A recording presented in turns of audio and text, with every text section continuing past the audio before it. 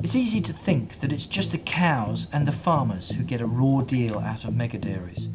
But I'm told that here in California, the farms are causing big problems for residents and threatened wildlife too.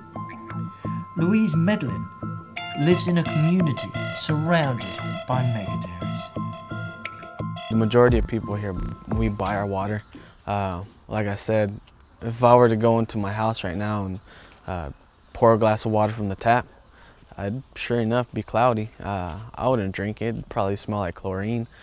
I've, you know, I've tried drinking it before, and I know it's, it's contaminated and and storing in these big pools. I mean, they don't have anything as a safety net under that those water pools.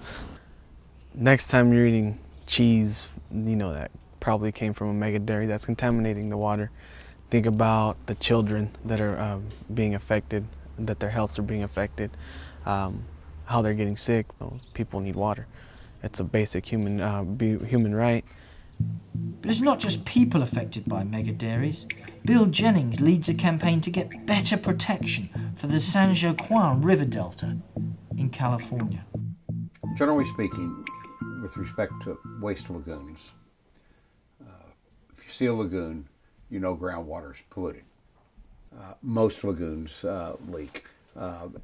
Uh, well, pollution from megadairies, like like uh, uh, pollutant discharges from agricultural and agriculture in general, affect a broad uh, suite of of, of uh, critters in the aquatic uh, ecosystem. I mean, you know, the more trophic levels, the zooplankton, the phytoplankton, the bottom levels of the food chain, through um, uh, uh, through species. I mean, you know, the fish themselves. I mean, you know, either by by uh, depriving them of oxygen or, or creating toxic conditions.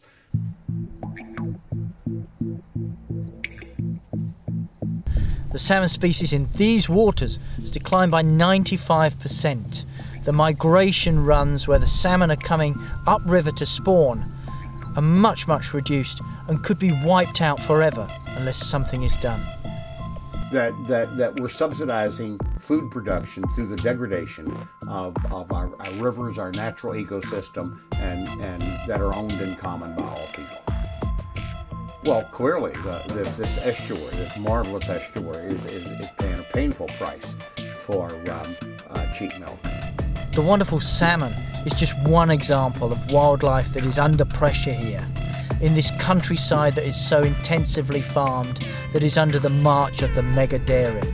It's just one more example of why we need to go beyond factory farming.